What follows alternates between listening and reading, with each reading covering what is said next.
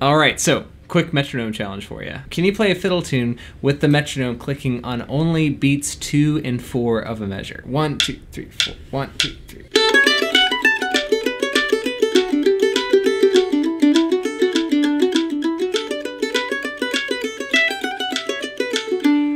Wow, that is a lot harder than it sounds. like I'm so trained to hear the click on every beat of the measure or on the first and the third beats, you know, those stronger beats, but putting it on the back beats like this, the two and the four, it really throws me for a loop. I usually have to start counting on two and figure out where the two and the four are in relationship to the one to get started. And then from there, it's just a really good exercise to have some rhythmic independence from those stronger beats and be able to feel the timing outside of a normal framework that we're used to. And it is really challenging, but I've benefited from trying this out and I hope you will too. Let me know in the comments below what you think, what it's done for your playing, and I'll look forward to hearing from you.